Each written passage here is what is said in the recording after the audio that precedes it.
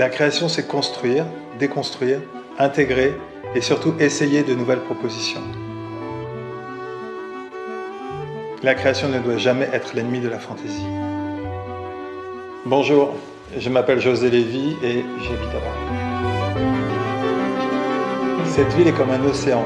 Elle est capable d'accueillir toutes mes formes d'expression différentes et d'enrichir toutes mes idées. J'ai passé une bonne partie de mon enfance sur les plages de Normandie. J'aimais ramasser ces pierres douces et arrondies en fin de journée, là où le ciel est plus beau. Après des millions d'années, le travail du vent, les vagues et l'érosion causée par les graviers, les galets sont apparus dans leur forme finale très douce et très lisse. La forme arrondie des galets épouse parfaitement le contour des oreilles. Le toucher mat est également très agréable, comme une pierre qui roule sous vos doigts. Rendez votre expérience musicale la plus confortable possible. If this stone has its own life, I hope it's a child's imagination.